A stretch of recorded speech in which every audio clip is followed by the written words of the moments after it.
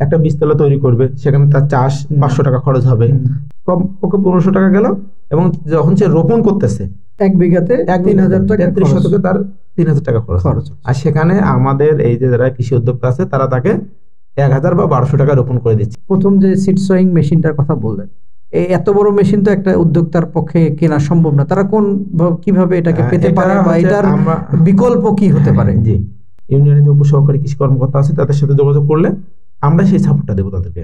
এবং শুরুতে এই কাজটা করার পরে শেষে যখন ফলন তাদেরকে আমি হারভেস্ট করে দেখালাম যে প্রচলিতভাবে তারা যখন করে তখন বাইশ তেইশ চব্বিশ মন এর বেশি ফলন পায় না। এবং আমার তেত্রিশ শতক এটা। আমি রোপণ করে শেষে যখন দেখালাম এখানে আঠাশ থেকে বত্রিশ মন পর্যন্ত ফলন হয়েছে।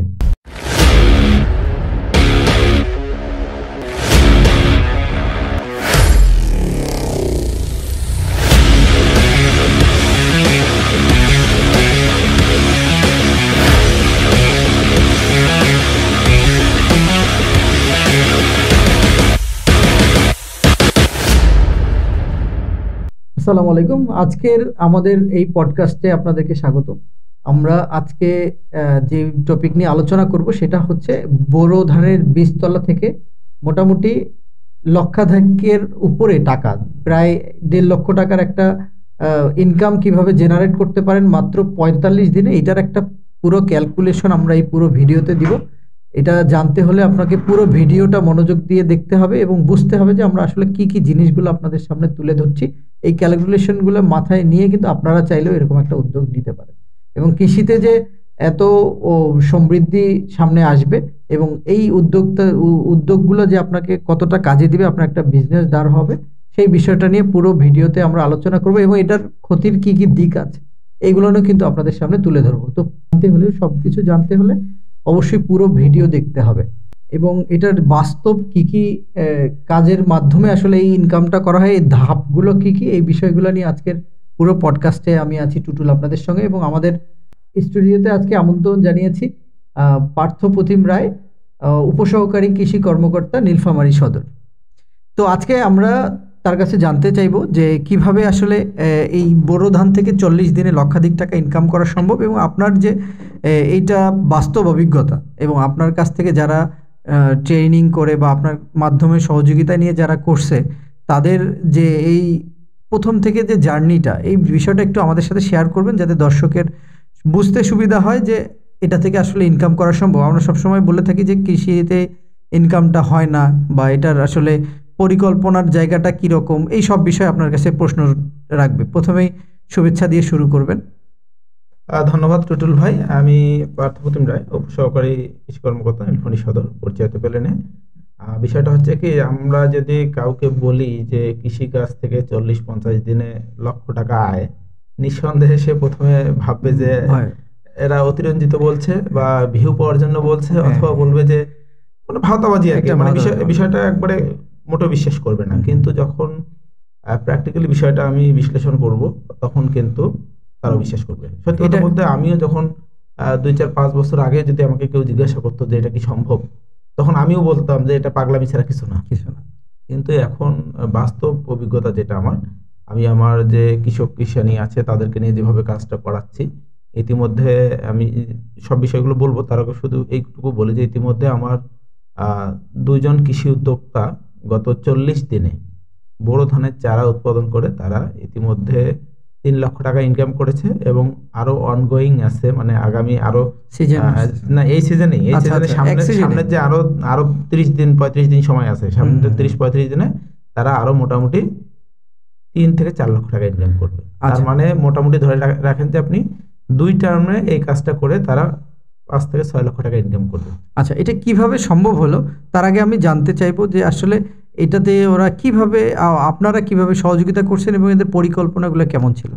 এটা আসলে আপনারা জানেন যে আমরা স্মার্ট কৃষি করতে যাচ্ছি। মানে স্মার্ট বাংলাদেশ করতে গেলে আমাকে কৃষিতে স্মার্ট হতে হবে এবং কৃষি এই স্মার্ট কৃষিতেই ক্যারিয়ার করতে হবে এবং সেজন্য আমাদেরকে যে কাজটা করতে হবে কৃষি যান্ত্রিকরণের উপর জোর দিতে হবে। আচ্ছা। কৃষি যান্ত্রিকরণ করতে পারলে তাহলে আপনার লাভবান হওয়ার সুযোগ আছে। আপনি দেখেন আপনি যদি যারা কৃষক দীর্ঘদিন ধরে আমাদের বাপদাদারা কৃষিকাজ করতেছে তাদেরকে যদি বলেন যে কৃষিকাজ করে আপনার কি কি উন্নতি হয়েছে সরাসরি বলবে যে কৃষিকাজ করে বছর বছর জমি বন্ধক দিয়েছে বা লস হয়েছে কিন্তু মানে ঘাটতি হয়েছে কিন্তু পারলে লাভ হয়নি। গরু বিক্রি করে কিন্তু যারা কৃষি উদ্যোক্তা হয়েছে যারা আধুনিক যে কৃষি প্রযুক্তি এগুলোকে গ্রহণ করেছে তারা কিন্তু লাভবান হয়েছে।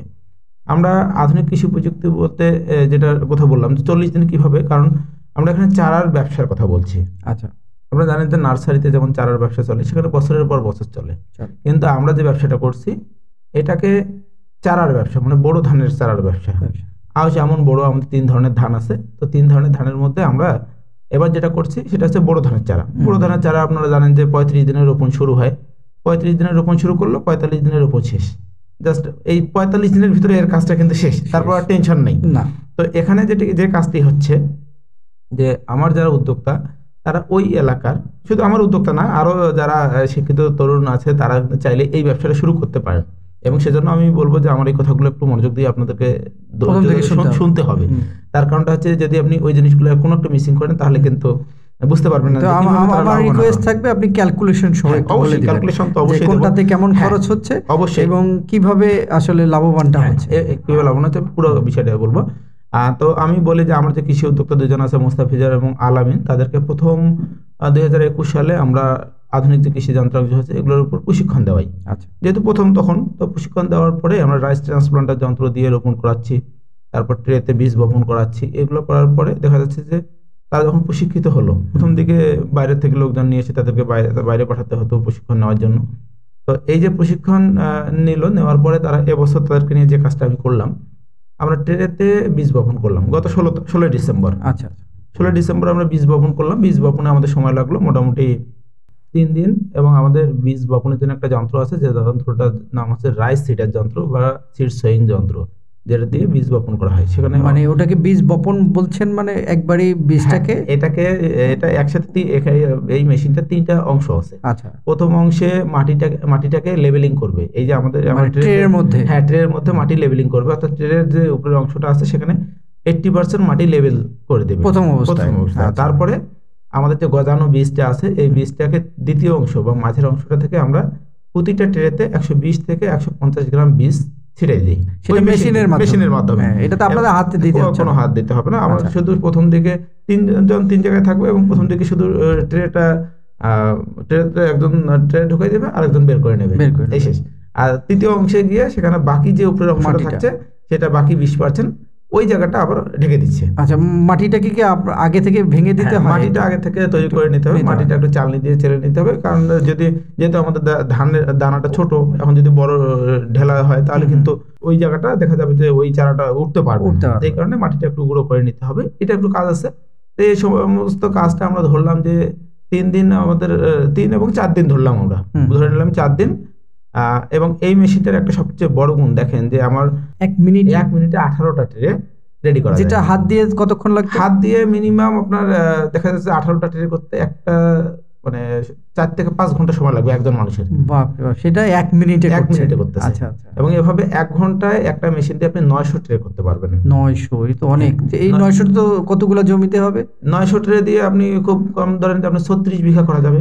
মানে বারো একর জমিতে রোপণ। করা যাবে ঠিক আছে? আচ্ছা। ছত্রিশ বিঘার কাজ করা যায় জাস্ট এক ঘন্টায়। আচ্ছা। দেখা যাচ্ছে যে আমার ওই মেশিনটা অপারেট করতে মোটামুটি যেহেতু দ্রুত কাজটা চলে এই কারণে আমার ওই লোক একটু বেশি লাগে। একটু বেশি লাগে। কারণ দ্রুত ট্রেগুলো সরাই নিতে হয়। হ্যাঁ। এই কারণে আট থেকে দশজন লোক দরকার হয়।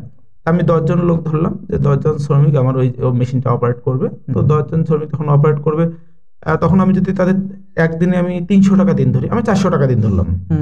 সারাদিন লাগবে না আমি চারশো টাকা দিন ধরলাম। চারশো টাকা দিন মানে আমার দশজন লোকের চার হাজার টাকা। চার হাজার তা আমার যদি চার দিন কাজ করে তাহলে চার চোখ ষোলো হাজার টাকা আমার লেবার কস্ট গেল। ষোলো হাজার লেবার কস্টে আমার চার দিনে ট্রেনে রেডি হবে খুব যদি কম পক্ষে হয় আট থেকে দশ হাজার হবে। তা আমি অত বাদ দিলাম আমরা যেটা করছি সেটা বলি আমরা মোটামুটি ছয় হাজার ট্রে করছি। তো ছয় হাজার ট্রে করলে ছয় হাজার ট্রে দিয়ে আমাদের মোটামুটি দেখা যাচ্ছে যে আপনার চারশো বিঘার মতো করা যায়। ঠিক আছে? মানে আপনার এক বিঘার জন্য মানে তেত্রিশ শতকের জন্য পঁচিশটা ট্রে 25টা আমি যদি পঁচিশটা ধরি একশো বিঘা একশোটা ট্রে দিয়ে আপনার চার ছয় হাজার ট্রে তৈরি করার ফলে দুইশো চল্লিশ বিঘা আমাদের রোপণ করা যাচ্ছে। তো আচ্ছা। দুইশো চল্লিশ বিঘা যখন আমরা রোপণ করব আমি শুধু লাভের কথাটা আগে বলি তারপরে আমি ওই খরচের খরচটা আমাদের ষোলো হাজার টাকা হলো। আহ, তো দুইশো চল্লিশ বিঘা আমাদের রোপণ করা যাবে। দুইশো চল্লিশ বিঘায় এক হাজার টাকা করে বিঘা এবং ক্যারিং কস্ট দুইশো টাকা মোট বারোশো টাকা বিঘা। তো বারোশো টাকা বিঘা আমি ক্যারিং কস্ট দুইশো বাদ দিলাম। আচ্ছা। এক হাজার টাকা করে যদি আমি বিঘা ধরি তাহলে হচ্ছে দুইশো চল্লিশ মানে হচ্ছে মোটামুটি দুই লাখ চল্লিশ হাজার টাকা। কিন্তু দুই লাখ চল্লিশ হাজার টাকা আসতেছে ছয় হাজার ট্রে থেকে। ছয় হাজার ট্রে হ্যাঁ ছয় হাজার ট্রে থেকে আমার দুই লাখ চল্লিশ হাজার টাকা আসতেছে। এখন আমার সময়টা কিন্তু লাগতেছে পঁয়ত্রিশ দিন থেকে আমি রোপণ শুরু করছি। পঁয়ত্রিশ থেকে এবং পঁয়তাল্লিশ দিন আমার রোপণ শেষ। আচ্ছা। এই জাস্ট পঁয়তাল্লিশ দিনের ভিতরে তারা দুই লাখ চল্লিশ হাজার টাকা পেল। কিন্তু এখানে আরেকটা বিষয় আছে যে আমাদের কিন্তু কিছু ট্রে শর্ট পড়ে। তখন আমরা বিভিন্ন উপজেলা থেকে আবার ট্রেগুলো নিয়ে আসি। আচ্ছা। অনেকে দেখা যাচ্ছে ট্রেগুলোকে কাজে যার কারণে ওই ট্রেগুলো আমরা নিয়ে আসি। আসার পরে দেখা গেছে আমার তিনশো বিঘা রোপণ করা গেছে। হ্যাঁ এ পর্যন্ত তিনশো বিঘা রোপণ গেছে। আরও আছে। আরও আমার ছয়শো বিঘার বীজ বপন করা হয়ে গেছে। যেগুলো আলু আপনাদের আলু যে আলুর জমিতে একটু লেটে হয় তা আলুর জমির জন্য আমরা যেটা করছি সেটার জন্য অলরেডি আমরা সতেরোশো ট্রে অলরেডি বপন করছি। রেডি করছেন। রেডি করছি গত ছাব্বিশ তারিখে। আচ্ছা। তার মানে মোটামুটি আমার তেরো চোদ্দ দিন হলো। আবার এটার পর আউশ হবে। আউশের জন্য আমাদের মোটামুটি আরও পাঁচশো বিঘার একটা প্রোগ্রাম আছে। টোটালি ছয়শো বিঘার প্রোগ্রাম আরও আছে আমাদের। হ্যাঁ। তাই সেটা আমরা পরে আসি। এখানে যে দুই লাখ চল্লিশ হাজার টাকা আমাদের হলো এখন আমার খরচ কত? খরচ কত? আমার শ্রমিক গেল সেখানে আমরা হিসাব করলাম ষোলো হাজার টাকা। ষোলো হাজার টাকা। এখন সেটা হচ্ছে বীজটা বপন করার জন্য। বীজটা বপন করার জন্য। এখন আমার বীজ লাগতেছে কতটুকু? বীজ আমি যদি একশো বিশ গ্রাম করে ধরি তাহলে মোটামুটি ছয় হাজার ট্রেতে আমার বীজ লাগবে সাতশো বিশ কেজি বীজ। হুম সাতশো বিশ কেজি। হ্যাঁ সাতশো বিশ কেজি বীজ। আমি যদি প্রতি কেজি বীজ আমরা যদি বিরানব্বই বীজ দিচ্ছি বিধান বিরানব্বই তা আমরা যদি প্রতি কেজি করে এবার চল্লিশ টাকা করে ধরি তাহলে আঠাইশ হাজার টাকার বীজ। শ্রমিক খরচ আমার ষোলো হাজার টাকা। কীটনাশক বা ছত্রাকনাশক খরচ দুই হাজার টাকা আমি ধরলাম। দুই হাজার টাকা হ্যাঁ। আমার আনুষঙ্গিক ধর আরও এক্সট্রা অনেক আরও পাঁচ হাজার ধরে পাঁচ হাজার। পাঁচ হাজার আমরা ধরলাম। তাহলে যদি আপনি এটা একটা হিসাব করেন ক্যালকুলেশন করেন তাহলে দেখা যাবে যে আমার একান্ন হাজার পাঁচশো টাকা এখন এটা হচ্ছে নিট খরচ। না এটা আরও খরচ আছে। আচ্ছা এখন আমার প্রতি বিঘায় আমার দুশো চল্লিশ বিঘায় আমার সত্তর টাকার পেট্রোল খরচ হয়। আমি এভারেজ আমি একশো টাকা করে পেট্রোল একশো টাকা করে হ্যাঁ, ধরলাম প্রতি বিঘায়? হ্যাঁ প্রতি বিঘায়। আচ্ছা। প্রতি বিঘায় আমি যদি একশো টাকা করে পেট্রোল খরচ ধরি তাহলে আমার আরও চব্বিশ হাজার যোগ হবে এখানে। তার মানে আমার টোটাল খরচ পঁচাত্তর হাজার পাঁচশো। পঁচাত্তর হাজার টাকা এই পঁচাত্তর হাজার পাঁচশো টাকা হচ্ছে টোটাল খরচ। টোটাল খরচ মানে একদম বীজ বপন করা পর্যন্ত। থেকে রোপণ পর্যন্ত। রোপণ পর্যন্ত রোপণ আচ্ছা। পর্যন্ত আমার পঁচাত্তর হাজার টাকা খরচ। হ্যাঁ। আর আমার আয় যেটা আসতেছে সেটা হচ্ছে যে দুই লাখ চল্লিশ হাজার। পঁয়তাল্লিশ দিনে এক লক্ষ চৌষট্টি হাজার পাঁচশো টাকা। আমার কথা যেটা যে ধরেন আমরা আরও পাঁচ সাত হাজার টাকা দশ হাজার বিশ হাজার টাকা আরও বিশ হাজার আমি বাদ দিলাম। আমি ওই উপরে চোদ্দ হাজারে বাদ দিলাম। তারপর দেড়। লক্ষ টাকা জাস্ট পঁয়তাল্লিশ দিনে নেট ইনকাম এবং এটা যেটা হচ্ছে যে আমি তো বললাম যে আমরা শুধু বোরোর যেটা ফার্স্ট সিজন সেটাতে আমরা করছি। কিন্তু আলুর পরে যে জমিগুলো আমাদের পতিত আছে বা যেগুলোতে রোপণ হবে সেগুলোর জন্য আমাদের আরও ছয়শো বিঘার প্রস্তুতি চলছে। আচ্ছা আচ্ছা। সেখানে আমার দুইশো চল্লিশ বিঘায় যদি আমার ইনকামটা আসে দেড় লাখ টাকা তাহলে আমার মোটামুটি এখানে আর তিন লাখ টাকার বেশি ইনকাম হওয়ার সুযোগ আছে। তা এখন হচ্ছে যে আমাদের যারা কৃষি উদ্যোক্তা হতে চায় মানে শিক্ষিত বেকার যুবক আছে তারা যদি এই কাজটা করতে চায় তাহলে তাদেরকে কি করতে হবে? সর্বপ্রথম যে কথাটা সেটা হচ্ছে কৃষির প্রতি আগ্রহ থাকতে হবে। ওই তিরিশ দিন বা পঁয়ত্রিশ দিন তাকে যে ভিডিও দেখলাম যে দেড় লাখ টাকা তো কামাই হয়েছে। হ্যাঁ, কামাই হয়েছে। লাভ দিলাম। এই যে তিরিশটা দিন বা এই পঁয়ত্রিশটা দিন ওই চারাটা প্রতিনিয়ত তাকে মনিটরিং যত্ন করতে হবে। অর্থাৎ সকাল বিকাল রাত সবসময় তাকে মনিটরিং এ যেভাবে নার্সারিতে হ্যাঁ, নার্সারিতে করে। খুব সূক্ষ্মভাবে তাকে খেয়াল করতে হবে। কোথায় এটা- পোকামাকড় আসলো? হ্যাঁ পোকামাকড় কীভাবে পড়ে গেল কিনা? এটা কিন্তু ট্রেতে কিন্তু মাটির লেভেলিংটা কম থাকে। যার কারণে দ্রুত একটা দুর্ঘটনা ঘটে যেতে পারে। যেতে পারে। রোগবালাই আসলে কন্ট্রোল করা মুশকিল হয়ে। যায় আগাম প্রস্তুতি সবসময় নিতে হবে। সব বিজনেসেই তো এটা হয় হ্যাঁ। যে হচ্ছে রিস্কি ফ্যাক্টরটা থাকে। তো এটাতে তো সেম মেনে নিতে হ্যাঁ, এটা মেনে নিতে হবে। তবে এখানে যেটা হচ্ছে যে এখানে সম্ভাবনার জায়গাটা অনেক বেশি। বেশ এবং শেখার জায়গাটা আপনি কীভাবে গুরুত্ব দেন? হ্যাঁ শেখার জায়গাটাও বলতেছি। তার কারণটা হচ্ছে এটা সম্ভাবনা কেন বেশি? যত দিন যাচ্ছে আমাদের শ্রমিকের সংখ্যা কমছে। কমছে। এখানে সবচেয়ে আরেকটা গুরুত্বপূর্ণ বিষয় যে যে এই ব্যবসাটা করল সে ইনকাম পেল। এখন তো একটা প্রশ্ন থাকতে পারে যে যে এই চারাটা কিনবে তার লাভ কি? তার লাভ কি? তারও তো হ্যাঁ। লাভ থাকতে হবে। সে যে একটা জিনিসের প্রতি আগ্রহ আমি যে একটা প্রোডাক্ট তৈরি করতে সেটা কেউ নেবে কিনা সেটা কীভাবে তাদেরকে বোঝাবো। এই জিনিসটা বোঝানো একটা গুরুত্বপূর্ণ বিষয়। এই জন্য আপনারা কীভাবে কাজ করছেন হ্যাঁ এটাতে আমরা কৃষি সম্প্রসারণ অধিদপ্তর যেভাবে কাজ করছি এটা হচ্ছে আমরা ওই এলাকার কৃষকদেরকে বাছাই করছি বা তাদের সাথে কথা বলতেছি যে দেখেন আপনি যদি নর্মালি কৃষি কাজ করেন মানে বীজতলা তৈরি করেন বীজতলা থেকে যদি রোপণ করেন তাহলে আপনার কত খরচ? আমরা দেখা যাচ্ছে যে অনেকের সাথে কথা বলছি তার একটা বীজতলা তৈরি করবে সেখানে তার চাষ পাঁচশো টাকা খরচ হবে তার বীজ কিনতে হবে পাঁচশো টাকা যাবে তারপরে তাকে আবার ওখানে সেচ দিতে হবে ওখানে রেগুলার যেতে হবে তারপরে কীটনাশক বালাইনাশক এগুলো সার সব মিলে দেখা যাচ্ছে যে তার পনেরোশো টাকা কম পক্ষে খরচ হয়। হুম। কম পক্ষে পনেরোশো টাকা গেল এবং যখন সে রোপণ করতেছে রোপণ করতে গিয়ে দেখা যাচ্ছে শ্রমিককে দিয়ে রোপণ করাতে গিয়ে তার বারো থেকে পনেরোশো টাকা যাচ্ছে। আচ্ছা। তার মানে মোটামুটি তিন হাজার টাকা তার খরচ। এক বিঘাতে এক তিন হাজার টাকা তেত্রিশ খরচ- শতকে তার তিন হাজার টাকা খরচ। আর সেখানে আমাদের এই যে যারা কৃষি উদ্যোক্তা আছে তারা তাকে এক হাজার বা বারোশো টাকা রোপণ করে দিচ্ছে। তাই তাহলে ওই যে কৃষক যার জমি সে যখন রোপণ করতেছে সেও আঠারোশো টাকা লাভ পেল। আবার যে রোপণ করে দিচ্ছে বা এই চারা যে নার্সারিটা করল তারও কিন্তু আয় হচ্ছে উভয় উভয়ে এখানে লাভবান লাভবান হচ্ছে। কারণ একটা জিনিস দেখেন যত দিন যাচ্ছে আমাদের শ্রমিকের সংকট হচ্ছে। এখন কিন্তু কেউ কাদায় নামতে চায় না। চায় না। ঠিক আছে? শ্রমিকের সংকট হচ্ছে। এই কারণে আমাদেরকে কৃষি যান্ত্রিকরণে যেতে হবে এবং কৃষি যান্ত্রিকরণের মাধ্যমে এভাবে সবাই তো আর কৃষিতে আসবে না। আসবে না। যারা আসবে তারা কৃষি উদ্যোক্তা হিসেবে যদি আসতে পারে এভাবে লাভবান হবে এবং কৃষি যারা জমি চাষবাস করে তাদের উৎপাদন খরচ যারা আসতে চায় তাদেরকে কোন দিকটাতে আপনি জোর দিতে পারেন? এইটা হচ্ছে যে সর্বপ্রথম আপনাকে ওই কাজটা শিখতে হবে এবং কাজটার প্রতি মমত্ব থাকতে হবে। এবং শেখার জন্য অনেকে আমাকে বলেছেন যে আসলে কীভাবে শেখা যায়। ফেসবুকে বিভিন্নভাবে বলেছেন। তো আমি যেটা খুব মানে অনেস্টলি বলি যে আমার block blog Taranibari Palashbari union এবং নীলফণি সদর। আপনি আমার ফেসবুকে বা মেসেঞ্জারে যে কোনোভাবে হোক বা কৃষি বাজারের সাথেও যদি যোগাযোগ করে তারা যদি আসে আমি একবার মাঠে তাদেরকে নামাই জাস্ট বেশি দুই ঘণ্টার জন্য তারা আসবে।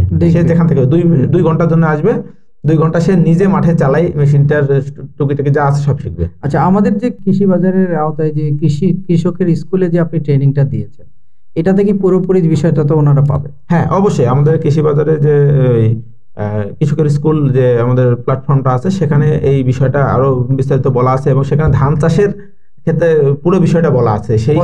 পদ্ধতিতে যদি তারা চাষাবাদ করে তাদের লাভবান হওয়ার সুযোগ আছে। কি মনে হয় যে ওটা দেখলেই ওনাদের মোটামুটি অবশ্যই ওটা দেখলে যথেষ্ট একটা ধারণা তৈরি হবে এবং তারা সেখান থেকে উদ্বুদ্ধ হয়ে লাভ লস সবকিছু হ্যাঁ, ওখানে হ্যাঁ, দেখতে সবকিছুই সেখানে ক্যালকুলেশন করে ক্যালকুলেশন করে দেওয়া আছে। আচ্ছা আপনি যেখানে আমরা ছিলাম আর কি টপিকে যাই। আমরা যে আপনি বলতেছিলেন যে তিন হাজার টাকার যেখানে খরচ হতো ম্যানুয়ালি করতে সেখানে একটা মেশিন এক হাজার টাকায় করে দিচ্ছে।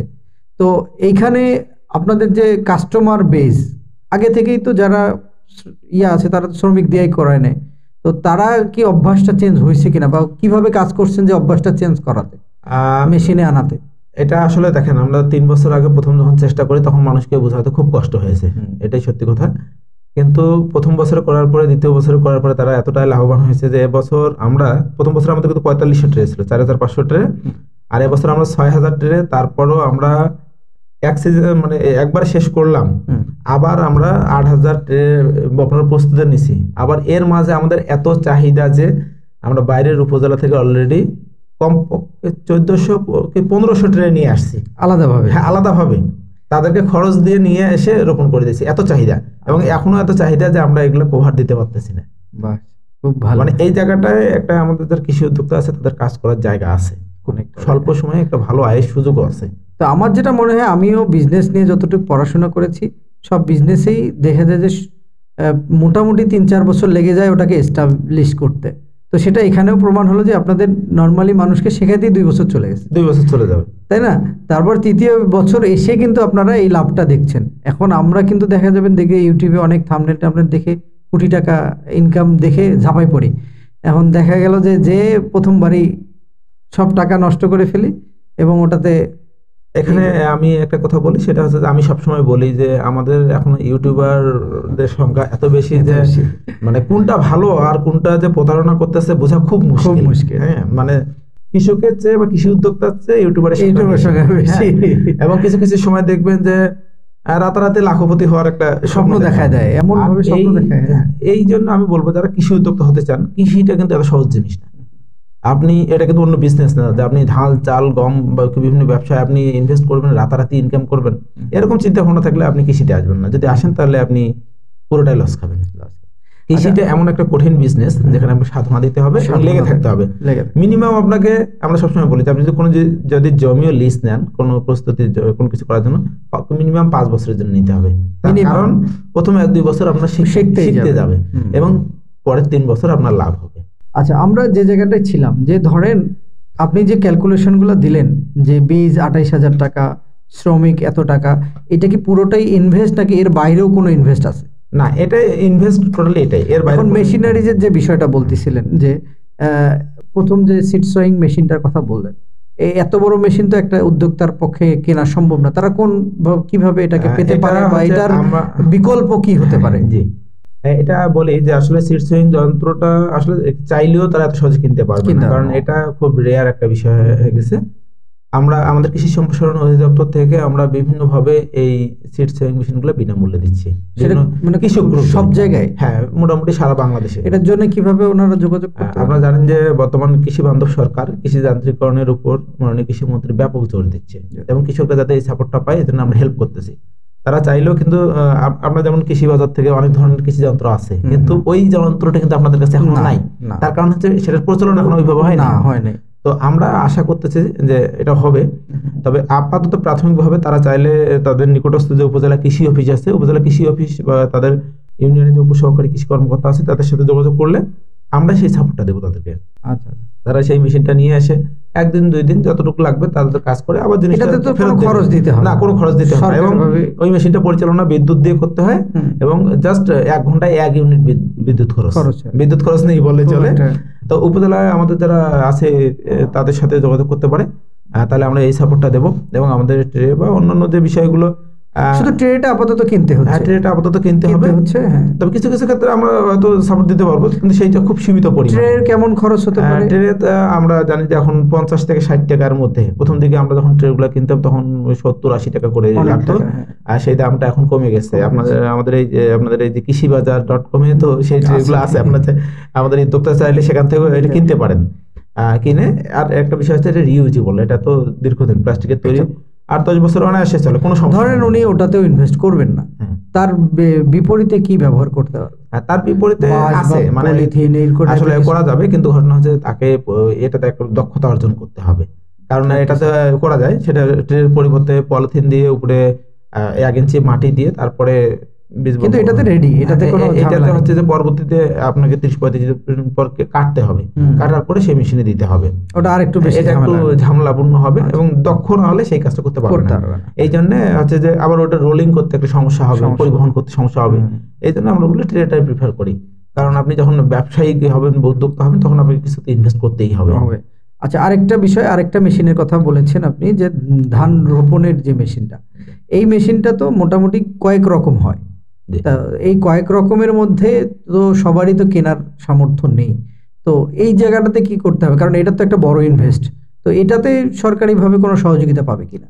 এইটা আমি তো বললাম যে মাননীয় কৃষিমন্ত্রী মহোদয় এবং মাননীয় প্রধানমন্ত্রী কিন্তু কৃষির প্রতি অনেক বেশি সচেতন মানে এবং কৃষকদেরকে বা কৃষি উদ্যোক্তাদেরকে সবসময় সহায়তা দিয়ে আসছে। এর জন্য পঞ্চাশ থেকে সত্তর পার্সেন্ট পর্যন্ত ভর্তুকি আছে আমাদের। আচ্ছা। এই যে যন্ত্রগুলো আছে রাইস ট্রান্সপ্লান্টার ভর্তুকিতে নিতে পারবে? হ্যাঁ, এগুলো পঞ্চাশ পার্সেন্ট ভর্তুকিতে তারা উপজেলা কৃষি অফিসে অল্প দামে নিতে এ- কিনতে পারবে। এগুলো দুই ধরনের আছে। ধরেন উনি কিনতে পারল না ওই ফিফটি পার্সেন্ট টাকাও তার কাছে আপাতত নেই। কারণ এখানে আপনি যে ক্যালকুলেশন দিয়েছেন যে ওনার ইনভেস্টমেন্ট প্রায় পঁচাত্তর হাজার পাঁচশো টাকা। তো এখন যদি মেশিনে টাকা দিতে যায়, তার মানে ওটা দাঁড়াবে যদি আরও দুই লাখ টাকা দাঁড়ায় যায়, তখন তো আরও বেশি হয়ে যাচ্ছে। তো ইনভেস্টমেন্ট নাই ওনার কাছে। ওনার কাছে এই পঁচাত্তর হাজার পাঁচশো আছে। তো ওনারা কীভাবে এই মেশিনটা পেতে পারে? অথবা কারা কারা মিলে এটাকে নিয়ে ব্যবহার করতে পারে বলে আপনি মনে করেন? এখানে আমাদের আমি আগে বলেছি যে আমরা কৃষি সম্প্রসারণ অধিদপ্তর সবসময় কৃষকের জন্য নিবেদিত আছি আমরা যদি এত ইনভেস্টের মানে সামর্থ্য না থাকে কোনো দরকার নেই। আপনি প্রথমে আমাদের উপসহকারী কৃষি কর্মকর্তা আছে উপজেলা কৃষি অফিসার মহোদয় আছে তাদের সাথে যোগাযোগ করবেন। আমরা বিনামূল্যে সেই মেশিনগুলো আপনাকে সাপোর্ট দেব যেন আপনি ওই মৌসুমটা করতে পারেন। মানে প্রথম দিকে অন্তত তারা এটা করে অভ্যাসটা হোক। তারপর হ্যাঁ। পরবর্তীতে যদি এখানে লাভ পায় তারপর তারা তো দেখা যাক এখানে পঁচাত্তর হাজার পাঁচশো আপনি দেখলেন যে উনি দুই বছরের অভিজ্ঞতার পর ইনভেস্ট করার সাহস করছে। তার মানে উনি শুরুতে এতগুলো করার দরকার নেই। দরকার নেই। অল্প দিয়ে তার জমিতে কতটুকু করা যায় এটা আমার যে কৃষকরা দেখেন যে তারা এবার যখন লাভ পেল তখন তারা চিন্তা ভাবনা করতেছে যে রাইডিং টাইপ অর্থাৎ যেটা চড়ে চালানো যাবে আর হাঁটতে হবে না। রাইডিং টাইপ ওরা এটা কেনার প্রস্তুতি নিচ্ছে চোদ্দ লক্ষ টাকা দাম। সরকারি ভর্তুকি সাত লক্ষ এবং ওরা সাত লক্ষ টাকা দিয়ে কিনবে। আর কোম্পানির সাথে যদি বড় বড় কোম্পানির সাথে যদি একটু লিয়াজও থাকে বা তাদের সাথে যদি সেরকম সুযোগ থাকে তাহলে কিস্তিতে এই যন্ত্রগুলো কেনা যায়। ধরেন যে আপনার সাত লক্ষ টাকার হয়তো দুই লক্ষ বা তিন লক্ষ দিয়ে বাকিটা কিস্তিতে দেওয়া যাবে এই সুযোগটাও আছে। আচ্ছা। এবং এটা তো আমি বললাম যে এই যে লাভটা সেটা আমি বড় বড় মৌসুমে কিন্তু দুই ধর দুই ভাবে করা যাবে। একটা আমরা করলাম আর একটা করতেছি আবার পরবর্তীতে আউজ আছে আবার আমন আছে। তিন মৌসুমে এটা করা যাবে।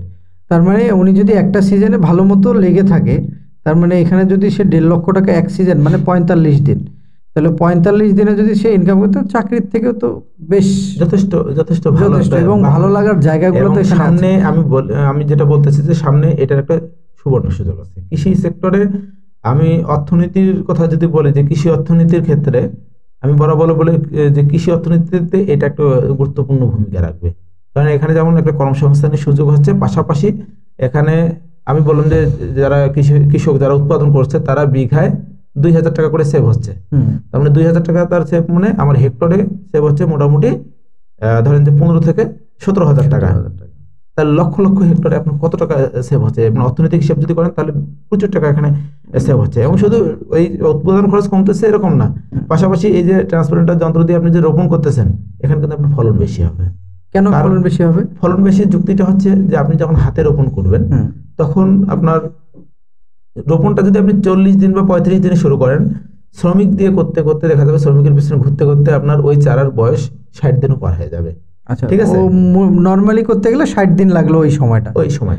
তার মানে আমার চারার যে উপযুক্ত বয়স উপযুক্ত বয়স হচ্ছে পঁয়ত্রিশ থেকে চল্লিশ দিন। চল্লিশ চল্লিশ দিনের পর যত যাবে তত আমার প্রতিদিন ফলন কমতে থাকে। ওই ওই চারা থেকে আমার ফলন কমে যাবে। তাহলে এখন যেটা হচ্ছে কারণ লাইফ সাইকেলটা ওখানে নির্ভর হ্যাঁ করে। এটা নির্ভর করে। হ্যাঁ। এদিন উপযুক্ত হচ্ছে পঁয়ত্রিশ থেকে চল্লিশ দিন। আপনি যদি ষাট দিনে করেন ফলন এমনি কমে যাবে। তার মানে হচ্ছে যে আপনার রোপণ করতে করতে আপনার এইদিকে পঁচিশ দিন পর্যন্ত লেগে যায়। আচ্ছা। ঠিক আছে, তাহলে ষাট দিন প্লাস হ্যাঁ। হচ্ছে পঁচিশ দিন। হ্যাঁ। অনেক দিন তো প্রায় অনেক দিন সময় পঁচাশি। দিনের হ্যাঁ, মতো 85 সময়। দিন। বা যদি আপনি পঁয়ত্রিশ দিনে শুরু করেন ষাট দিনেও যদি যান তারপর পঁচিশ দিন সময় পঁচিশ দিন বাড়তি লেগে যায়। আর আমি যদি ওটা যন্ত্র দিয়ে রোপণ করি আমার সর্বোচ্চ পাঁচ দিন সময় লাগবে বা সাত দিন। মানে আমার বিয়াল্লিশ দিনের ভিতরে রোপণ শেষ। রোপণই শেষ। তার মানে ও তখন বীজ ইয়া হ্যাঁ, আর শিকড় ছাড়া কোর্স ছাড়া শুরু করবে। আর এখানে আরেকটা বিষয় হচ্ছে যে আপনি যখন ম্যানুয়ালি বীজতলা করবেন তখন তো আপনার চারা তুলতে হবে। আচ্ছা। চারা তুলতে গিয়ে চারাটা আপনার শিকড় ছিঁড়ে যাবে। কিন্তু এখানে আপনি যখন ট্রেতে করতেছেন তখন আপনাকে শিকড় শিখতেছে না। এই আপনি যখন যেভাবে বসাই দিবেন ঠিক তখন থেকে আপনার কৃষি বের হওয়া শুরু হয়ে যাবে। আর যদি মাটি থেকে তোলে তখন শিকড়টা শিকড়টা। ছিঁড়ে যাবে আঘাতপ্রাপ্ত হবে। আর ওই ওইটাই আবার মানে ইয়াতে যখন যাবে ওই ভাঙা শিকড়গুলো গজাতে আবার সময় সময় নেবে। এটা একটা বিষয়। আবার আর যখন যে যখন আপনি হাতে রোপণ করতেছেন তখন কতটা গভীরে করতেছেন? মানে আপনার কাদা বেশি হলে অনেক গভীরে বেশি চলে যাচ্ছে বেশি গভীরে যাচ্ছে। সেখানে আবার নতুন করে কুশি বেরোতে কিন্তু যথেষ্ট সময় লাগে। আর সেখানে দেখা যাচ্ছে যে আপনি যদি এই মেশিনে রোপণ করেন মেশিনে কিন্তু একটা নির্দিষ্ট গভীরতা এক থেকে দেড় ইঞ্চি গভীরতা আপনার রোপণ হবে। যার কারণে দ্রুত কুশি ছাড়বে এবং সেখান থেকে দ্রুত শিকড় ছাড়বে এবং কুশি ছাড়বে। আচ্ছা। এবং সেটার ভিগোরিটি দেখা যায় প্রথম দিকে আমরা দেখি যে যখন রোপণ করে তখন ছোট চারা। নর্মালি ছোট ছোট চারা চার পাঁচ ছয় ইঞ্চি চারা আর হাত দিয়ে রোপণ করলে দশ ইঞ্চি চারা সেটাকে বড় দেখা যায় কিন্তু এটা হ্যাঁ। যখন আপনি ছোট চারা রোপণ করলেন পঁচিশ তিরিশ দিন যখন যাবে তখন আপনি বিশ্বাস করতে পারবেন না যে কোনটা আগে লাগানো আর কোনটা পরে লাগানো। ঠিক আছে? এত দ্রুত একশো মন মানে এটা খুব দ্রুত পারে আচ্ছা। এবং বললাম তো যে এটার ফলনও ভালো হয় এবং এর যে লাইন আমরা বলি লাইন লাইন লোক মেনটেন করতে হবে। লাইনে রোপণ করলে আলো বাতাস চলাচল করে রোগ বালাই কম হয়। মেশিন দিয়ে যখন রোপণ করতেছেন তখন আপনার তিন দিকে লাইন হচ্ছে। তিন দিকে আলো বাতাস চলাচল করতেছে যার কারণে রোগ বালাইটা কম হবে। এই কারণে আমরা বলি যে আপনাদেরকে মেশিনে মেশিনে যে- যে যান্ত্রিক যে কৃষি ব্যবস্থাপনা সেই দিকে যাইতে হবে। এবং এই দিকে যাওয়া ছাড়া কোনো উপায় নেই। কারণ আমরা সকলেই আমাদের সন্তানকে শিক্ষিত করতে চাই বড় বড় অফিসার বানাতে চাই কিন্তু কৃষিতে যেতে চাই না। এবং কৃষিতে যে এই কারণে ওই জায়গাটা আমাদের কৃষি উদ্যোক্তাদের জন্য একটা ভালো স্কোপ তৈরি আছে। এখানে কিন্তু এখনও সেভাবে প্রতিযোগিতা তৈরি হয়নি। প্রতিদ্বন্দ্বী নাই। প্রতিদ্বন্দ্বী নাই। তো এই জন্য ওই জায়গাটাতে যদি আমাদের যারা যাদের কৃষির প্রতি একটা ভালোবাসা আছে তারা যদি ওই দিকে যায় তাদের কিন্তু একটা ব্যাপক সম্ভাবনা আছে আয়ের। মানে বছরে তিন মৌসুম আউশ আমন বড়। আমি আউশটা একটু কম হয় আউশটা আমি বাদ দিলাম। আমন আমন এবং বড় দুই মৌসুমে যদি তারা করে তাহলে মোটামুটি যে আহ, কোথাও কোম্পানিতে বা কোথাও- চাকরি করার যে বেতন পাবে সেই টাকাটা তারা ওই দুই দুই মাসে চার মাসে তুলে নিয়ে আর দরকার হবে না আসলে। আমাদের কৃষি উদ্যোক্তা তারা কিন্তু দুজনে অনার্স মাস্টার্স করা। একদম এবং- শিক্ষিত। হ্যাঁ শিক্ষিত। হ্যাঁ। এবং এই জন্য আমি বলি যে আপনি অনার্স মাস্টার্স করে কি করবেন? শিক্ষার গুরুত্বটা হ্যাঁ, অনেক বেশি কৃষিতে কারণ আমরা তো যেটা দেখেছি হ্যাঁ। আমাদের আগে যে বাপদাদারা কাজ করছে ওরা কিন্তু খুব একটা জানতো না। যে দেখা গেল এটা নিয়ে কোনোদিন পড়াশোনাও করেছে করেছে কিনা জানি না আমার সন্দেহ আছে। কারণ যে ও সে যে ধানটা রোপণ করে সেটা থেকে সে কয় টাকা কামাই করবে এটা কোনো এটাও এটাও হিসাব করে হিসাব এটা কোনোদিন করে না। করে না। করতে হয় জন্যই করে হ্যাঁ তাছাড়া তো অন্য কিছু করার করার কিছু না, নাই। এই কারণেই করে যে করে। করা লাগে করে কিন্তু শিক্ষিতরা আসলে তো আমার মনে হয় এই জায়গাটা দূর হবে যে হ্যাঁ, ওনারা আগেই তো বললাম আমরা তৃতীয় বছরে এবার যদি আমার ওই শিক্ষিত তরুণরা না থাকতো উদ্যোক্তা না থাকতো তাহলে তিন বছরে কেন আমি তিরিশ বছরে ওই জায়গায় পৌঁছতে পৌঁছাতে পারতাম। এই জন্য এই জায়গাটাকে আমার আমাদের কাজ করতে গেলে শিক্ষিত যারা যুবক আছে তাদেরকে এখানে আসলে আমাদের কৃষিটা আরও দ্রুত ছড়াই যাবে। আচ্ছা আরেকটা প্রশ্ন করি আপনাকে। এই যে গোমরামিটা কীভাবে তুললেন? মানে আমার বাপদাদা যেভাবে ধান চাষ করছে আমি সেভাবে করব। এইটাকে কীভাবে ওভারকাম করলেন আপনি আপনি মানে এটা আসলে বলতে গেলে স্মৃতিকাতর হতে হবে আপনাকে। আচ্ছা। হ্যাঁ আমার চাকরি জীবনে হয়তো বা আমি এত বেশি কষ্ট করিনি আচ্ছা। বা করতে হয়নি। আমাকে রাত দিন মানে ওই যে প্রথম বছর আমি ওই পঁয়তাল্লিশটা দিন আপনি বিশ্বাস করবেন না ভোর থেকে শুরু করে মানে ভোর পাঁচটা থেকে শুরু করে রাত নয়টা দশটা একটা পর্যন্ত আমাকে ওই মাঠে থাকতে হয়েছে তাদেরকে এই জিনিসটা বোঝানোর জন্য। এবং শুরুতে এই কাজটা করার পরে শেষে যখন ফলন তাদেরকে আমি হারভেস্ট করে দেখালাম যে প্রচলিত ভাবে তারা যখন করে তখন বাইশ তেইশ চব্বিশ মন এর বেশি ফলন পায় না। এবং আমার তেত্রিশ শতক এটা। আমি রোপণ করে শেষে যখন দেখালাম এখানে আঠাশ থেকে বত্রিশ মন পর্যন্ত ফলন হয়েছে। শুকনা। আচ্ছা। তখন তারা এতটাই খুশি যে ওই প্রথম বছরে আমার ওই পঁয়তাল্লিশ দিনের যে কষ্টটা এই কষ্টটা সার্থক এখন আমাকে আর কষ্ট করতে হয় না। এখন ওনারাই খোঁজে। শুধু পরামর্শ দেয় ওনারাই খুঁজে নেয় আমাকে। আচ্ছা, ঠিক আছে? আচ্ছা। এটা হচ্ছে আমার একটা বড় সার্থকতা। যেমন পঁয়তাল্লিশ দিনের কাজের কারণে অনেকে উদ্যোক্তা হয়েছে। এবছর ওই এলাকাতে ছোট ছোট ছেলে যারা নাইন টেনে পড়ে স্কুলে যায় তারাও সব করে ওই গাড়িটা চালাচ্ছে। হ্যাঁ শিখতেছে। ভালো লাগে শুরু হ্যাঁ, হয়েছে ভালো লাগা শুরু হয়েছে সে ওইটা মজা মজা গাড়িটা চালাচ্ছে। এবং ওই যে চালাচ্ছে চালাতে চালাতে দেখা যাচ্ছে তার একটা আর্নিংস হয়ে যাচ্ছে। হ্যাঁ ও কত- হ্যাঁ যখন আমার মেশিন ওখানে অনেকগুলো মেশিন আছে তারা চালাচ্ছে তখন তাদেরকেও দেখা যাচ্ছে যে বিঘা প্রতি দুইশো তিনশো টাকা করে দিচ্ছে। ওই একদিনও তো আট দশ বিঘা করতে পারে দুই তিন হাজার টাকা ইনকাম করতেছে ওই দিনে। মেশিনগুলো তো আপনার উপজেলা থেকে হ্যাঁ উপজেলা থেকে বিনামূল্যে দেওয়া। বিনামূল্যে দেওয়া। তো আমাদের একটা ওখান থেকে একটা ভালো ইনকাম হ্যাঁ আমাদের প্রকল্প আছে রংপুর বিভাগ কৃষি ও গ্রামীণ উন্নয়ন প্রকল্প। এই প্রকল্পের মাধ্যমে এই যন্ত্রগুলো দেওয়া। এবং এই যন্ত্রের মেইনটেনেন্স খরচ নেই বললেই চলে। কোনো উপাধি পাইতে হয় নাই? যে এইগুলো পাগলামো বা অনেকেই পাগল বলে। আচ্ছা। শুধু গ্রামে না আমার অনেক স্যারও বলে যে আসলে নিতান্ত পাগল না হলে হ্যাঁ, হয়তো বা এভাবে কাজ করা সম্ভব না। আর ওই এলাকার মানুষজন যখন প্রথমে প্রযুক্তি বললাম তারা কোনোভাবেই এটা মেনে নেবে না।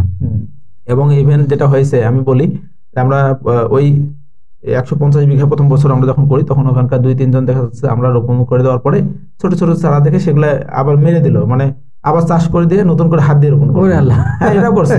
হ্যাঁ করার পরে পরবর্তীতে যখন ধানের ফলন তার কম হলো তখন যে এত আফসোস। হ্যাঁ। এবং এবার আমার সামনে এসে কান পর্যন্ত ধরছে যে আমি জীবনে আর এই কাজটা করব আমার মেশিনই ভালো। আমার মেশিন দিয়ে করতে হবে। ঠিক আছে? এই হচ্ছে বিষয়। না আপনি যে শ্রমটা দিছেন আসলে এটা মনে রাখার মতো এবং আপনার আমার মনে হয় যে আপনার নীলফামারীবাসী আপনাকে মনে রাখবে এই জিনিসটার জন্য। যে কি কি আশঙ্কা আছে যে এখান থেকে ঝরে পড়তে পারে একটা উদ্যোগ? এখানে আমি সবসময় বলছি যে এখানে সচেতনতাটা খুব গুরুত্বপূর্ণ। ওই পঁয়তাল্লিশ দিনে কোনো কারণে যদি কোনো ডিজিজ আসে যদি কোনো রোগ বালাই আসে। তাহলে কিন্তু আপনার ট্রেগুলো নষ্ট হয়ে যাবে। আর ট্রে নষ্ট মানে আপনার পুরো Investment ইনভেস্টমেন্ট নষ্ট এবং লস হওয়ার সম্ভাবনা থাকে। এই কারণে ওই আমরা আপনারা জানেন বড় মৌসুমটা হচ্ছে মেজর মৌসুম। এই সময় আমাদের প্রচণ্ড শৈত্যপ্রবাহ আসে। এই জন্য আমাদের এই সময় খুবই সাবধান থাকতে হবে। যেন শৈত্যপ্রবাহে কোনো প্রকারে আমাদের চারাগুলো নষ্ট না হয়। না। অনেক জায়গায় আমরা দেখেছি এটা যে নষ্ট হয়ে যায়। এই নষ্টটা যাতে না হয় এই জিনিসটা খেয়াল রাখতে হবে। হঠাৎ পানি বেশি হলে না, বা হঠাৎ- বন্যার না, যদি এমন মৌসুম হয় যদি হঠাৎ বন্যায় সমস্যা হতে পারে কিন্তু সেখানে আমার স্কোপ হচ্ছে যে আমি ম্যানুয়ালি যদি করি সেখানে আমার বাড়াইতে পারব। কিন্তু আমার ট্রেতে হলে আমি সেটা বাড়ির উঠানেও নিয়ে যেতে পারব কোনো সমস্যা নেই। কিন্তু মাচা করেও দেওয়া যায় মাচা করে দেওয়া যাবে যে কোনো কিছু করা যাবে এটা একটা বড় সুবিধা। এই কারণে কৃষকরা অবশ্যই চারা উৎপাদনের সময় এই পঁয়তাল্লিশ দিন বা চল্লিশ দিন খুব যত্ন সহকারে রাখতে হবে এবং যেহেতু প্রচণ্ড শৈত্যপ্রবাহ থাকে এই কারণে আমাদের পলিথিন দিয়ে ঢেকে দিতে হবে যাতে চারা কোনো প্রকারে সমস্যা ক্ষতিগ্রস্ত না হয়। আচ্ছা আরেকটা বিষয় আপনাকে প্রশ্ন করব এটা একটু মানে অনেকের মন খারাপ হতে পারে। হঠাৎ করে কোনো রোগবালাই হলেই আমরা কিন্তু দৌড় দিয়ে হলো দোকানদারের কাছে। তো দোকানদাররা তো এই বিষয়ে কোনো পড়াশোনা করে না। শুধু ওই গায়ে কি লেখা আছে এটা দেখেই কিন্তু তারা প্রেসক্রিপশন করে। ডাক্তার দেখবেন যে খারাপ কোনো ওষুধ লিখলে কিন্তু সেই রোগীর ক্ষতি হয়। তো এখানেও যদি এখন দেখা গেল কোনো কারণে সে ভুল দিল একটা উদ্যোক্তার তো বড় ক্ষতি হতে পারে। তো আপনি এটাকে কীভাবে দেখেন যে আসলে এটা কতটা করা উচিত এবং উদ্যোক্তা হিসেবে যারা নতুন আসছে তারা তো কোনোভাবেই এটা জানে না। সেটাতে আপনি কীভাবে গুরুত্ব দিচ্ছেন যে তারা কীভাবে এই বিষয়টাকে জানবে বা শিখবে বা এইটাকে নিয়ে কীভাবে পড়াশোনা করবে? এখানে আরেকটা বিষয় আমি বলি আপনি কিছুক্ষণ আগে বলছেন যে আমাদের বাপ দাদারা তারা কিন্তু লাভ লসটা হিসেব করে না। করে না। আমাদের ওই আগের জেনারেশন যারা তারা কিন্তু এখনও লাভ লস হিসাব করতেছে না যে আমার কত লাভ হচ্ছে কত লস হচ্ছে। আপনার যখন একজন কৃষক একজন ব্যবসায়ীর কাছে যাবে ব্যবসায়ীর প্রথম চিন্তা কি থাকবে? যে এখানে আমার লাখ টাকা খরচ করে আমি ব্যবসা দিছি। প্রথম কথা কারণ ব্যবসা করার জন্য সে নামছে। এখন সে ওই পাটাবাড়িতে ঢিল মারার মতো একসাথে তিন চারটা ওষুধ দিল কোনো না কোনো একটা তো কাজে কাজে দিবে, ঠিক হ্যাঁ। আছে? এরকম একটা ব্যাপার। আমি অনেক দেখেছি যে দেখা যাচ্ছে একটা ধরেন যে একটা ছত্রাকের সমস্যা সে তিন ধরনের ছত্রাকনাশক দিচ্ছে তিনটা বোতল। কোনো একটা তো কাজ কোনো। একটা তো কাজ করবে। তিনটা বিক্রি করলে তার তিন পঞ্চাশে দেড়শো টাকা তার লাভ। লাভ হইল হ্যাঁ। তার তো লাভ চিন্তা। কিন্তু আমরা কৃষি সম্প্রসারণ অধিদপ্তরে যারা আছি আমাদের তো সেই চিন্তা নেই। না। আমার কথা হচ্ছে যে আমি তিনটা কেন দেবো? একই তিনটা দিয়ে কাজ কি আমার? তিনটা দিলে বরং সমস্যা আছে। আমি যখন তিনটা দিলাম এই রোগটা যদি কোনো কারণে কন্ট্রোল না হয় পরবর্তীতে ওই তিনটা দিয়ে আর কন্ট্রোল হবে না। হবে না। আমি প্রথমে একটা দেবো যদি না হয় দুইটা দেবো তারপর তিনটা দেবো। মানে অসু- অসুখ সারাইতে হ্যাঁ। গিয়ে আবার আরেকটা অসুখ ধরাইছে। আরেকটা অসুখ ধরাইছে। আচ্ছা। তখন দেখা যাচ্ছে তার সহনশীল ক্ষমতাটা এত বেড়ে যাবে যে ওই রোগটা সারানো সম্ভব নয়। মানে এগুলো সবই এই নষ্ট। কারণে আমি সবসময় কৃষক ভাইদের অনুরোধ করি যে আপনার নিকটস্থ উপসহকারী কৃষি কর্মকর্তা আছে ফোন আছে ফোনে একটা মিনিট কল দিয়ে সঠিক পরামর্শ নেন তারপরে আপনি সিদ্ধান্তে যান। কিন্তু এখন তো গুগলেও তো অনেক জাস্ট একটু ইংলিশে সার্চ করলে তো আমার মনে হয় বিভিন্ন গুগল গুগলে যেতে পারে হ্যাঁ। সেটা একটা ব্যাপার। আবার চাইলে আমাদের বিভিন্ন অ্যাপস আছে। বালাই নাশক নির্দেশিকা অ্যাপস আছে সার সুপারিশ নীতিমালা অ্যাপস আছে। আচ্ছা আচ্ছা। বিড়ির নির্দেশিকা আছে তারপর বাড়ির আছে বিভিন্ন কৃষকের জানালা এরকম এগুলো অনেকগুলো অ্যাপস গেলে অ্যাপসে ছবি আছে ছবি দেখেই বুঝতে পারবে যে এটা তার কি সমস্যা এবং সে এটা দেখেই সব সিদ্ধান্ত নিতে পারবে। এবং তারপরে যেহেতু লেটেস্ট কিছু আছে ওষুধ সেখানে একটা নাম আছে আর হয়তো নাই। তখন সেগুলো আমাদের সাথে পরামর্শ করে নিতে পারে। নিতে পারে। আমরা কিন্তু আমরা যখন কোনো পরামর্শ দিই তখন আমাদের চিন্তা থাকে কৃষকের স্বার্থ। আর যখন ব্যবসায়ী পরামর্শ দেবে তখন তার নিজের দুইটা- স্বার্থ। কৃষকের স্বার্থ। আবার ব্যবসায়ীর স্বার্থ। উভয় স্বার্থ জড়িত আর আমার স্বার্থ শুধু কৃষকের স্বার্থ। এই হচ্ছে বিষয়। তো আপনাকে ধন্যবাদ। অনেক গল্প হলো আপনার সঙ্গে- সঙ্গে। তো শেষ করার আগে দর্শকের উদ্দেশ্যে যদি কিছু বলেন। আহ, আসলে আমাদের দিন দিন আমাদের কৃষি পরিবর্তন হচ্ছে এবং পরিবর্তিত কৃষির সাথে আমরা যদি মানিয়ে নিতে না পারি তাহলে কিন্তু আমরা ক্ষতিগ্রস্ত হব। সময়ের সাথে জলবায়ু পরিবর্তন হচ্ছে আধুনিক কৃষিতে যুক্ত হচ্ছে সারা বিশ্ব কৃষিতে এগিয়ে যাচ্ছে। আমাদেরকে এগিয়ে যেতে হবে। আপনারা হয়তো জানেন যে আমাদের নতুন নতুন যে ধানের জাত তৈরি হচ্ছে এগুলোতে সারা বিশ্বে আমরা প্রথম। প্রথম। চাল উৎপাদনে আমরা তৃতীয় ধান উৎপাদনে আমরা চতুর্থ এরকম বিভিন্ন ফসল উৎপাদনে আমরা এগিয়ে গেছি। আমাদের কিন্তু ল্যান্ড ক্যাপাসিটি কমে গেছে কিন্তু ইল্ড ক্যাপাসিটি ফলন বেড়ে গেছে।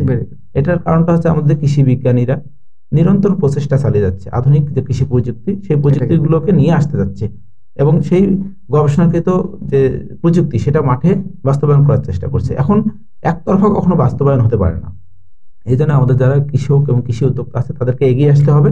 এবং আমরা সকলে উভয়ে যদি একসাথে এগিয়ে আসি তাহলে আমাদের কৃষিটা এই যে আমরা যে কৃষির যে সমৃদ্ধি আমরা বলি যে আমরা খাদ্য স্বয়ংসম্পূর্ণ এটা আমরা খালি খাদ্য স্বয়ংসম্পূর্ণ না। কিছু কিছু ক্ষেত্রে আমরা রপ্তানিও করি করি। এবং এই যে ধারাটা এটা আরও অনেক বেশি অব্যাহত থাকবে।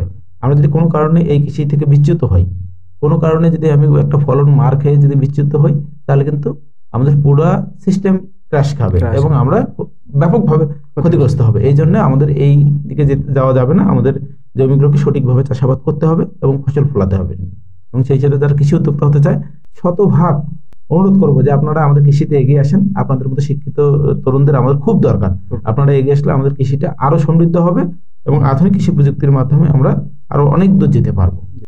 আর চ্যালেঞ্জের কথা আপনি বললেন যে আর কি কি চ্যালেঞ্জ আছে? আমি একটা চ্যালেঞ্জ বললাম যে বীজতলের যত্ন নিতে হবে। আর একটা বড় চ্যালেঞ্জ হচ্ছে যে মার্কেট ব্যবস্থাপনা। আপনি যাই করেন না কারণ চারার ব্যবসা করেন বা যে কোনো ব্যবসা করেন প্রথমে আপনাকে মার্কেট ব্যবস্থাপনাটা জানতে হবে যে আপনি ওই যে কাজটা করবেন সেটার উপরে কাকে দিবেন? কাকে দিবেন? হ্যাঁ, সেটা যদি আচ্ছা। করতে না পারেন ক্রেতা যদি তৈরি করতে না পারেন তাহলে হবে না।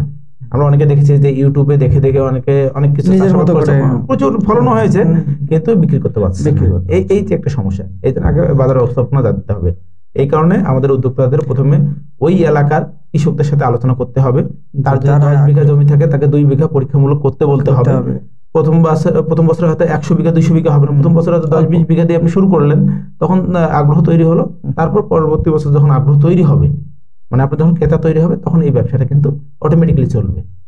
এটা হচ্ছে বাজার ব্যবস্থাপনা হচ্ছে একটা গুরুত্বপূর্ণ বিষয়। আচ্ছা। এবং আমি এখনও জোর দিয়ে বলি কেউ যদি এটা করে আমি শতভাগ বলতেছি যে সে সাকসেস হবে। ধন্যবাদ আপনাকে। শেষ করার আগে আমি দুই একটা কথা বলে দিই যে হচ্ছে উনি যে জিনিসটাতে সবসময় জোর দিয়েছেন তার কথা শুনে আমার মনে হয়েছে যে আপনাদেরকে আগে শিখতে হবে। শেখার বিষয়টাতে আপনাকে জোর দিতে হবে। ও অবশ্যই না শিখে না পরিকল্পনা করে কখনোই কৃষিতে আসাটা ঠিক হবে না। তবে অবশ্যই আপনারা শিখবেন জানবেন তারপরে কৃষিতে আসবেন। সবাই ভালো থাকেন সুস্থ থাকেন। পরবর্তীতে আবারও কোনো টপিক নিয়ে আপনাদের সঙ্গে চলে আসব। ততদিনে ভালো থাকেন। আল্লাহ হাফিজ।